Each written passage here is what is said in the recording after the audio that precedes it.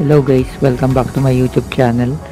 Uh, mawalang gabi sa ating lahat. May bago na naman tayong application na i-review ngayong araw na to guys, ngayong gabi.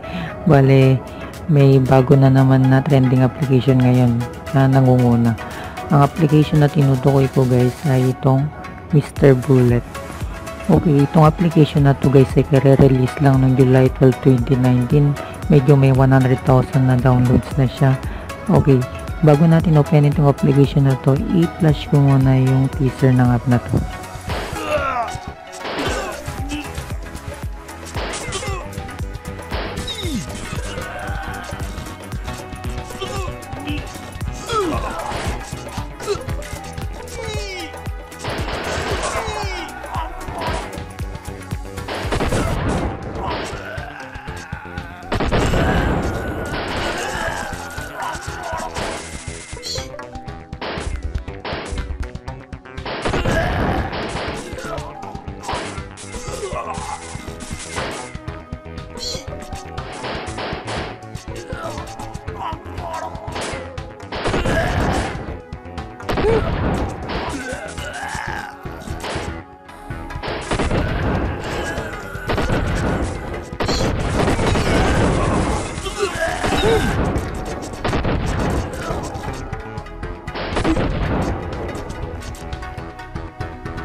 Okay, ang game na to guys isa siyang puzzle. Hindi ko alam kung anong klaseng puzzle siya, hindi ko pa siya in-open simula kanina.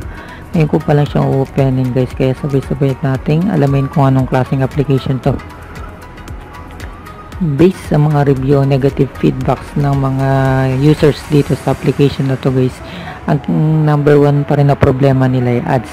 Sobrang dami daw ng ads ng application na to. Gaya ng sabi ko sa mga payo ko nung mga last video natin, i-off nyo lang, huwag nyo i-connect sa internet para iwas sa mga ads. Ganun lang kasimple guys, okay?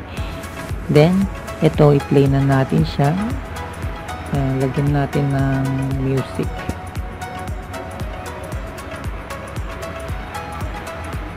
Okay, play natin siya guys. Yan. Chapter 1. Bullet City. Drag to aim and shoot to kill all the enemies. Drag to aim, shoot and kill. Drag. Ah, ganon. Then, itapat nyo lang. Ganun lang siya kasimple guys. Then, skip na natin. Ay. Ayaw. Ba tayo mag-skip? Ayaw rin ma-X. Ito. Yan yung araw ang gusto niya. Oops, napindot.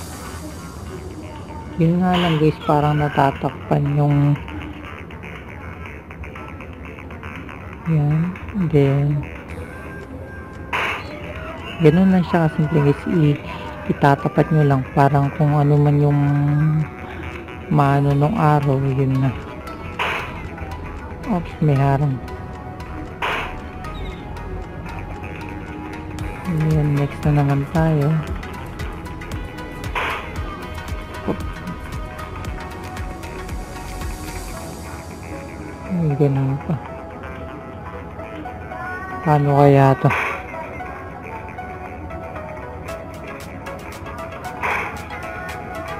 Oh.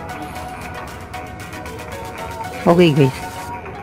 Bale, hanggang dito na lang yung review ng application na to ganun lang siya kadali laruin hindi ko alam kung ano meron dito kung bakit nag-trending tong application na to para sa akin medyo eh, parang boring yan may mga ano dito guys grenades postage pwede nyo siyang i-unlock.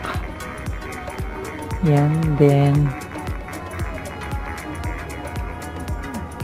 yan. Try natin siyang i-unlock. Ayaw. Siguro guys tatapusin nyo muna yung yan kung mapapansin nyo dito may 12 na star dito. Kailangan nyo ipunin yung mga stars na yun para ma-unlock tong mga to kailangan ng 50 na stars to itong isa kailangan ng 120 na stars. Din palaki na palaki. Para ma-unlock nyo yung mga iba't ibang ganyan games nya Okay guys, hanggang dito na lang review ng application natin. Hanggang sa muli. Thank you.